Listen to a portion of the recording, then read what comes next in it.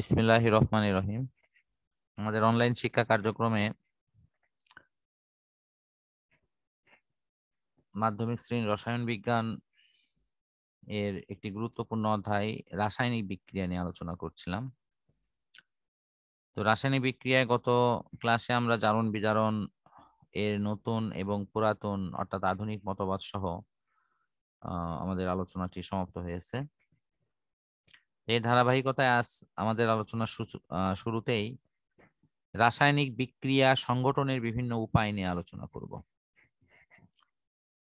তো রাসায়নিক বিক্রিয়া কি উপায়ে সংগঠিত হয়? সেই উপায়গুলো কি কি? সেগুলো নিয়ে আমাদের আলোচনাটা শুরু। ফার্স্ট অপশনটা হলো তোমার সংস্পর্শ। রাসায়নিক বিক্রিয়া শুরুর ক্ষেত্রে এই সংস্পর্শের ভূমিকা খুবই গুরুত্বপূর্ণ। কারণ বিক্রিয়াটি শুরু হওয়ার ক্ষেত্রে একটি পদার্থ অন্য একটি পদার্থের একেবারেই ঘনিষ্ঠ সংস্পর্শে আসতেই হবে। তা না হলে কিন্তু এরা পরস্পরের সঙ্গে কোনো বিক্রিয়াই করবে না। সুতরাং পরস্পরের সঙ্গে সংস্পর্শে আসার ক্ষেত্রটি কিন্তু খুবই গুরুত্বপূর্ণ। আমরা যদি হাইড্রোজেন এবং অক্সিজেন গ্যাসগুলোকে পৃথক করে রাখি ভিন্ন পাত্রে এবং ভিন্ন ভিন্ন স্থানে এবং এদেরকে যদি একত্রিত হওয়ার সুযোগ না দেওয়া হয়, তাহলে কখনোই হাইড্রোজেন, অক্সিজেন পরস্পর বিক্রিয়া করে কোনো কিছুই তৈরি করবে না। তো সুতরাং রাসায়নিক বিক্রিয়া সংগঠনের অন্যতম প্রধান শর্ত হচ্ছে বিক্রিয়কগুলো পরস্পরের খুবই খুবই ঘনিষ্ঠ সংস্পর্শে আসা। দ্বিতীয় অপশন হলো তোমার দ্রবণ। এই দ্রবণটি আসলে প্রথম অপশনেরই একটি বিকল্প পথ অথবা সেটি সেই পরিবেশ তৈরি করার একটি সহায়ক উপায়। পরস্পর সংস্পর্শে আসার ক্ষেত্রে কিছু কিছু পদার্থ আছে যারা কঠিন অবস্থায় এরা পরস্পরের ঘনিষ্ঠে আসতে পারে না। এদেরকে একটা বিশেষ পরিবেশ তৈরি করে দিতে হয়। সেই পরিবেশটি হলো তোমার দ্রবীভূত অবস্থা। যেমন, এখানে সোডিয়াম ক্লোরাইড এবং সিলভার নাইট্রেট। এই বিক্রিয়াগুলো আমরা এখানে দেখতে পাচ্ছি। এদের এরা পরস্পরকে যদি কঠিন অবস্থায় খুব কাছাকাছিও রেখে দেওয়া হয়, তাহলেও তেমন কোনো বিক্রিয়া তারা করে না। অথচ এদেরকে যদি আমাদের কোনো দ্রাবক, বিশেষ করে পানির মধ্যে দ্রবীভূত করে যদি রাখা হয়, তাহলে এরা কিন্তু এই বিনিময় বিক্রিয়া করে সোডিয়াম নাইট্রেট এবং সিলভার ক্লোরাইড অধক্ষিপ্ত করবে। ঠিক তেমনই এখানেও আমাদের দেখা যাচ্ছে কপার সালফেটের সাথে জিঙ্কের এটি প্রতিস্থাপন বিক্রিয়া হচ্ছে। তো এগুলো আমাদের মূলত এই দ্রবণ এই পরিবেশটি তৈরি করে। এরপরে বিক্রিয়া সহায়ক উপায় আরেকটি হলো তোমার তাপ। তাপ প্রয়োগের ফলে রাসায়নিক বিক্রিয়া ত্বরান্বিত হয়, বিক্রিয়ার গতি বৃদ্ধি পায় এবং কোনো কোনো বিক্রিয়া সূচনার ক্ষেত্রে তাপ প্রয়োগটা একটি শর্ত হয়ে দাঁড়ায়। যেমন পটাশিয়াম ক্লোরেট থেকে যদি আমরা বিদ্যুদিত করে অক্সিজেন তৈরি করতে চাই, তাহলে আমাদের অবশ্যই এখানে পটাশিয়াম ক্লোরেটকে তাপ দিতে হবে। তাপ দিলেই কিন্তু আমরা এই পটাশিয়াম ক্লোরা ক্লোরেটের বিযোজনে আমরা অক্সিজেনকে পাবো। তো সুতরাং কিছু কিছু বিক্রিয়ার ক্ষেত্রে তাপ প্রদান কিন্তু একটি বিশেষ শর্ত হয়ে দাঁড়ায়। এখানে যেরকম বিক্রিয়াটি দেখানো হচ্ছে, আমরাও দেখাই দিচ্ছি এটি। পটাশিয়াম ক্লোরাইডকে তাপ দেওয়া হয়েছে এবং অক্সিজেন পাওয়া গেছে। আলো, কিছু কিছু বিক্রিয়া সংগঠনের ক্ষেত্রে আলো একটি গুরুত্বপূর্ণ সহায়ক ভূমিকা পালন করে। সাধারণত অন্ধকারে যদি এই হাইড্রোজেন এবং ক্লোরিনকে রেখে দেওয়া হয়, এরা কাউকে কেউ বিক্রিয়াতে অংশ নিতে উদ্বুদ্ধ করতে পারে না। কিন্তু যখনই আলো দেওয়া হয়, তখনই এরা বিস্ফোরণ সহ এদেরকে কিন্তু বিক্রিয়া সংগঠিত হতে দেখা যায়। সে কারণে আলো এখানে এই দুটি মৌলকে পরস্পরের সাথে যুক্ত হতে বিশেষ সহায়ক পরিবেশ তৈরি করে। ঠিক তেমনি আমাদের মিথেনের সাথে ক্লোরিনের প্রতিস্থাপন বিক্রিয়াগুলোর দিকে আমাদের তাকালে এটি আরও পরিষ্কার হবে। প্রখর সূর্য আলোকে সাধারণত দেখা যায় মিথেনের সাথে ক্লোরিন বিক্রিয়া করে কার্বন টেট্রাক্লোরাইড এবং এইচসিএল তৈরি করে। অন্যদিকে এই ক্লোরিন যদি মৃদু আলোকে বিক্রিয়া করে, তাহলে এটি ধাপে ধাপে এই মিথেন থেকে হাইড্রোজেনকে প্রতিস্থাপন করে এবং সে এই সেল এ পরিণত হয়। অন্যদিকে মিথেন হয় হলো তোমার এটা মিথাইল ক্লোরাইড। এই বিক্রিয়াটি ধাপে ধাপে হয় এবং এটি তোমাদের জৈব যৌগ অধ্যায়ে গিয়ে এটি আরও বিস্তারিত পাবা। তারপরে আলোর প্রভাবে আরেকটি গুরুত্বপূর্ণ আমাদের জৈবিক বিক্রিয়ার কথা আমরা জানি, সেটি হলো গ্লুকোজ তৈরি করার বিক্রিয়া। অর্থাৎ সালোক সংশ্লেষণ প্রক্রিয়ায় উদ্ভিদ পানি এবং পানিকে ভেঙে সূর্যালোকের সাহায্যে ক্লোরোফিলকে ব্যবহার করে কার্বন ডাইঅক্সাইড সহ তারা যে বিশেষ খাদ্য উপকরণটি তৈরি করে, সেটি হলো glucose C six H twelve O six. এই যে C six H twelve O six এটি গ্লুকোজ। তৈরি করে, উপজাত হিসেবে অক্সিজেন নির্গমন হয়।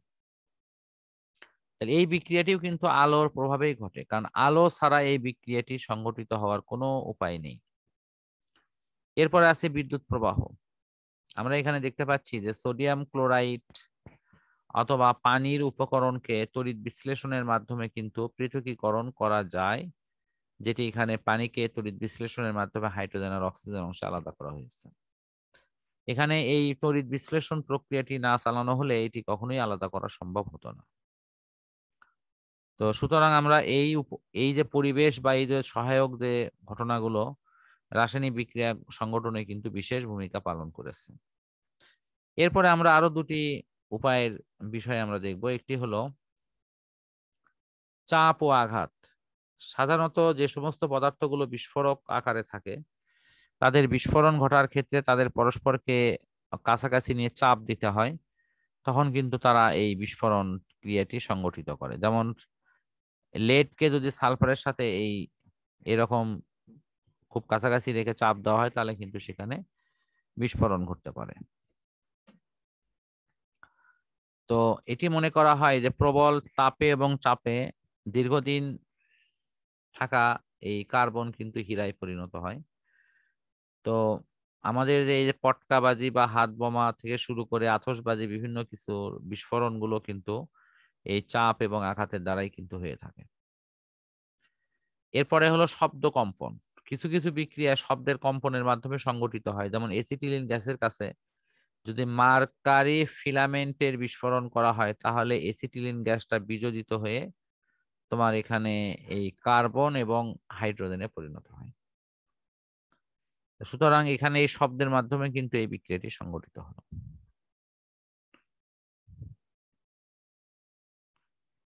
আমাদের এই অধ্যায়ে মোটামুটি এখানে একটা প্রশ্ন ছিল হ্যাঁ, তো হ্যাঁ। চাপ ও আঘাতের যে বিক্রিয়াটা মানে কি হচ্ছে ধরা যাক যে যেগুলো হচ্ছে গ্রেনেড টাইপের জিনিস তার মানে হচ্ছে গ্রেনেড তো ছুড়ে মারার পরে সেটা বিস্ফোরণ হয়। তো স্যার গ্রেনেডও কি সেরকম যে ভেতরের উপাদানগুলো হচ্ছে মানে যখন আমি ছুড়বো তারপর চাপ ও আঘাতের কারণে সেগুলো বিক্রিয়া করে বিস্ফোরিত হবে? এখানে দেখো